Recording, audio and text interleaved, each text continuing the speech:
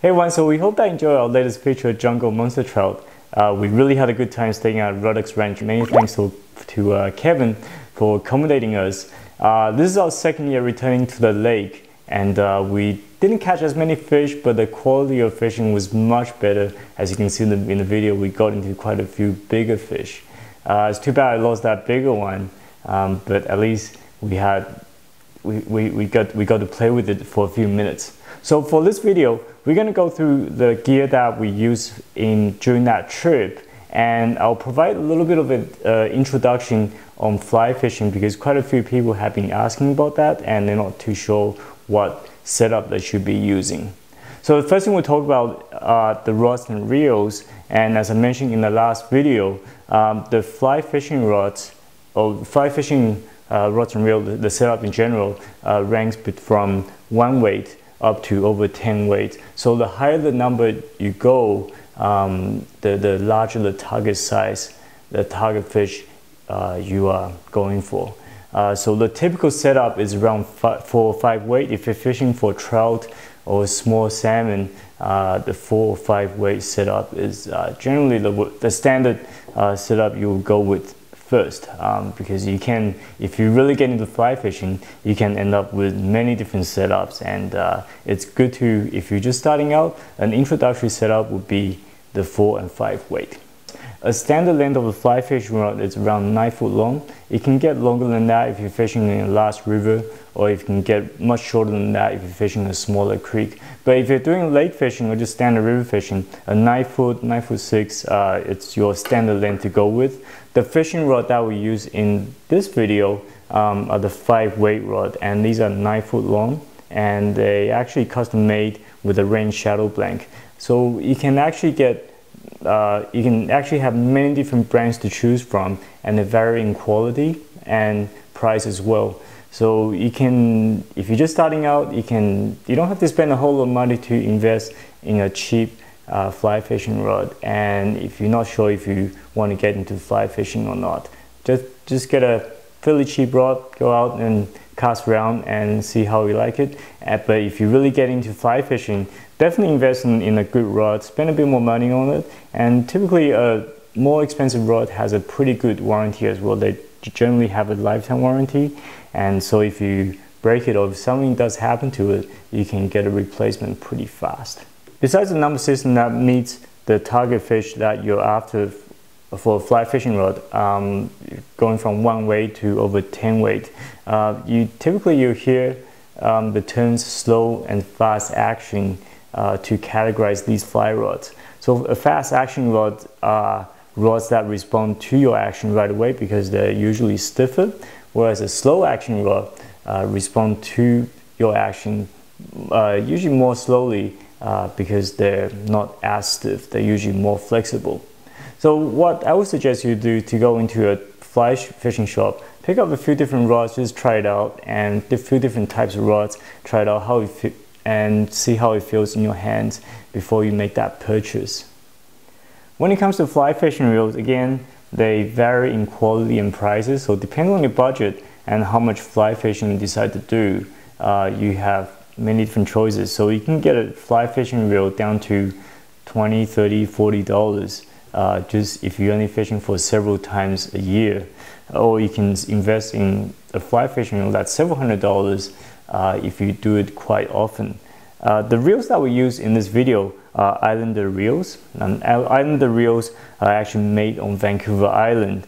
And uh, these are beautiful looking reels and they come in many different colors. So we got silver, we got green, uh, we got this gunmetal slate color and I believe they do come in gold and black as well but my favorite is actually these three colors the silver green and the uh, uh, so besides being beautiful reels uh, these actually perform really well and that's what you're paying for if you notice in during that video while I'm fighting that big fish and how fast the fish is running and the drag was just screaming, uh, you gotta have a pretty nice drag um, if you're fighting a big fish that runs like that. So this drag is very, very smooth. It takes the line out without any pauses, without you don't have to you don't have to worry about the reel suddenly just stops or it suddenly falls apart because the, the, the spool is spinning too fast. Uh, so reliability, that's what you're paying for. These Islander reels come in many different sizes. Uh, the ones that we use uh, in this videos are the LX series and we use the 3.4 and the 3.2 and they come in many other different sizes like I said they, you can get much bigger ones for larger fish. Uh, you can also get a few the, the, smaller ones for the small creek fishing. Uh, so before you go out and buy a reel definitely go talk to uh, someone at the fly fishing store and figure out which reel matches with which rod before you make that purchase. Uh, you don't want to end up with a really big fly fishing reel to match with a trout fly fishing rod and that just doesn't work. And it doesn't it affects your casting ability as well. So it definitely want to get the right setup. The next thing we'll talk about are the lines that go on your fly fishing reel. If you ever walk into a fly fishing store you, you'll notice that there are just hundreds of different lines you know covering up the entire wall and you wouldn't know which one to choose from. There's so many different types. There's floating line, there's sinking line, there's different types of sinking line. So what exactly should you buy? Well, the two very standard fly fishing line that we use are the floating line and the intermediate sink. And that's exactly what we use in this video. Um, the floating line uh, is exactly what its name implies. It actually floats on the surface. It actually sits on top of the surface and it's usually used for dry fly fishing. Uh, so you cast out the line, the line sits on top of the water, the fly doesn't get sinks, uh, the, the fly doesn't sink down because the line stays on the top. Uh, but you can also fish with wet flies as well um, with a floating line. If you're fishing in fairly shallow water, uh, so let's say if you have a wet fly that sinks down a little bit, uh, you can still use a floating line so you don't you don't end up snagging the bottom because you're staying just a little bit below the surface. The other line that you should have is the intermediate sink. Uh, so intermediate sink actually sinks below the surface but at a fairly slow rate. Uh, so you want to use this line if you're fishing in water, let's say over 5, 10 feet deep and uh, so you can actually let the line to bring your fly down to the strike zone. So the, the very a very popular brand of line that uh, most people use and that I use are the scientific anglers. So this brand here, um, if for floating line, we usually go with the GPX, which is a pretty uh, standard uh, introductory line to use as a floating line. Um, the other one, it's I don't have the box for it. The intermediate sink, the clear intermediate sink is the still water series that they have. Um, so I actually have it on this reel right here. So let's pull this out a little bit and you can see what's going on. So you can see this fly fishing line is actually clear. So as the name implies, clear intermediate sink. It's, it's a clear line that sinks below the surface it's clear so that the fish actually can't see that line. And it, it casts pretty nicely as well. Uh, both, both these lines cast pretty nicely. Uh, if you're just starting out, uh, they're definitely pretty good lines to go with. And but it's not a it's not an entry level line. Uh, most experienced anglers, most experienced lake anglers also go with these two setups as well. Once you have a fly fishing line, what do you do? When I first started out fly fishing, I had no idea how to attach your fly onto your line. Do you tie directly to the fly fishing line?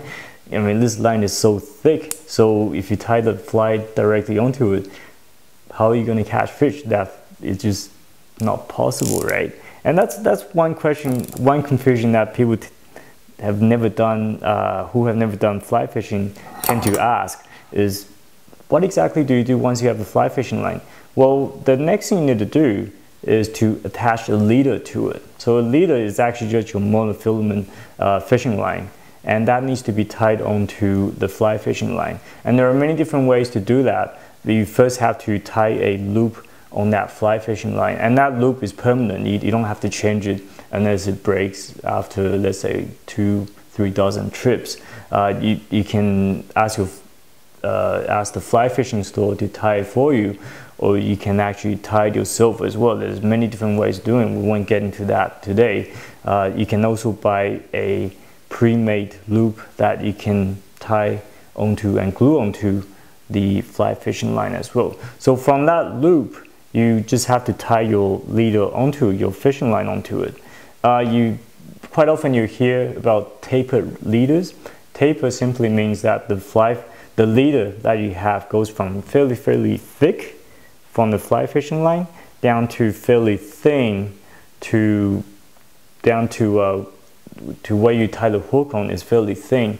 Uh, the reason for the leader to be tapered is to it allows you to cast a little better. It allows that fly, the, your entire line to turn over pretty easily uh, when you when you cast it out. You can actually buy tapered leaders from the fishing store, uh, but they're fairly pricey. And uh, if you really don't have the time and have the money, you can definitely buy those and tie them directly onto the fly fishing line. They're convenient. It comes in the package, but again, uh, it's fair amount of investment because you can actually tie a tapered leader fairly easily. So what I usually do is I tie, uh, I bring out 12 pound Maxima test, uh, 12 pound test Maxima Ultragreen, and I tie that, uh, tie a loop that connects onto the loop of the fly fishing line. And at the other end, I'll keep tying, simply using blood knots. You're tying, you're connecting 10 pound test to the 12 pound test, um, and then 8 pound test to the 10 pound and so on. And that goes down to 6 pound, uh, 4 pound test where at the end you can tie your fly onto it. It's a fair amount of work. You can do this the day before your fishing trip and just tie several up and uh, then you're ready to go. And just make sure you cut that, cut the tag of uh, down to the knot so it doesn't get cat, uh, caught up when you're reeling the fish in when it goes in through the guides. So the length of the leader uh, varies a little bit. If you're using a floating line, uh, the, the, leader usually is around 10 foot, 12 foot long uh, between the fly line and the fly. Whereas if you're using the intermediate sink, uh, this is clear already, so we don't have to worry about the fish seeing it. Uh, what I usually do is I, my leader is fairly short, this one is only about maybe three or four feet long to the fly. So from the fly line to the fly, it's three or four feet. If you, this line here, this intermediate sink goes all the way down to the depth where you uh, want your fly to be. If your leader is too long, because the fly is a little, little lighter, what's going to happen is if leader is too long, that, that fly is going to be all the way up here and your line is going to be down here. So you're not actually fishing uh, where the fish are. So by having the leader fairly short and you can keep that fly in the strike zone. So the last thing we'll talk about in this video are flies. There are tens of thousands of different fly patterns that you can choose from for fishing, for fly fishing. And that's um, part of the fun and challenging part uh, when it comes to fly fishing. Uh, you can tie your own flies or you can go into the store and simply pick out a few flies that are recommended by the shop owner and try those. Uh, you uh, usually want to try to match your fly pattern to what the trout are feeding in the lake. So if you like feeding on, uh, let's say mayflies on the surface, you want to use uh, mayflies that sits on the surface. Uh, or if you want to, if they're feeding on leeches, you want to use a leech pattern that uh, below the surface and, and so on. There's just so many different scenarios and that's why you, you, usually see experienced fly anglers with all these big boxes of flies with so many different patterns. Uh, most Usually they end up using only a few uh, for the trip, but it's good to have all the patterns um, with you so you're well equipped because the, for lake fishing it can really vary from day to day uh, one day the fish are feeding on the surface, the next day the fish are feeding on the bottom for different things. Um, so definitely come prepared.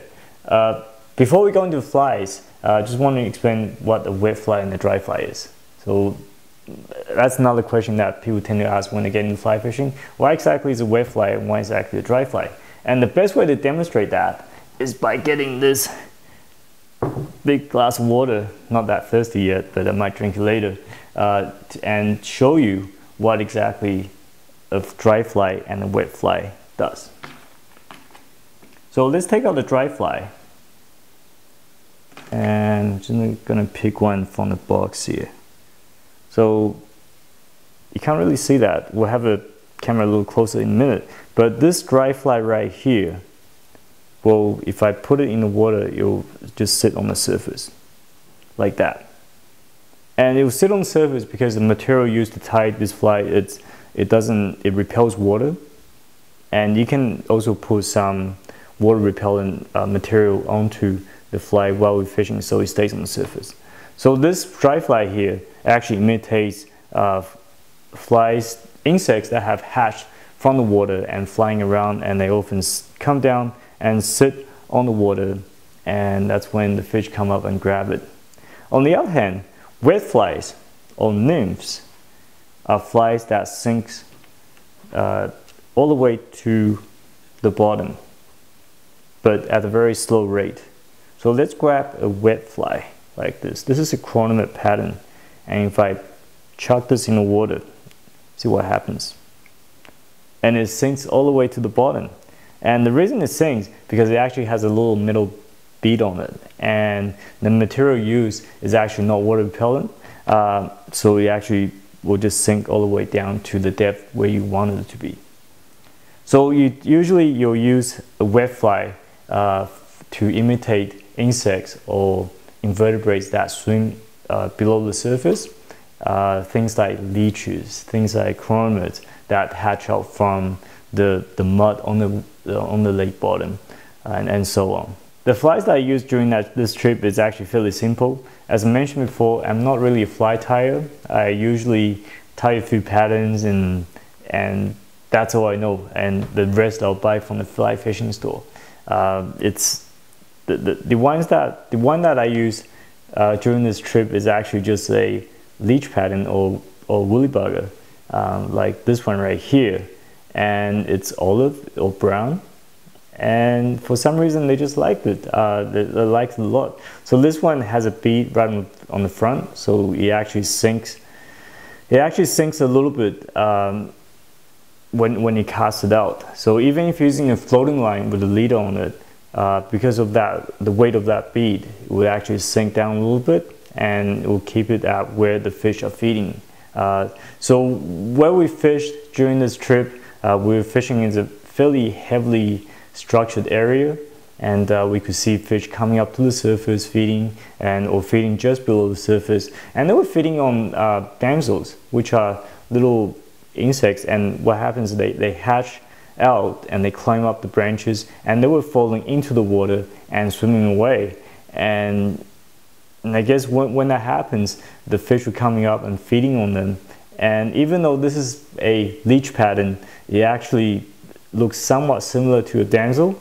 And for some reason, by stripping really fast, uh, the fish were not really that selective and they just went for it. So there you have it. So these are the gear that we use for this trip to catch those jungle monster trout. And uh, if you have any more questions on fly fishing, please feel free to leave a comment and I'm always happy to answer them. And uh, subscribe to this YouTube channel and we always have new videos coming out every month and we hope you find it very useful. And if you need more information on fishing in British Columbia, uh, please go to our website at fishingwithrod.com. So until next time, good luck fishing.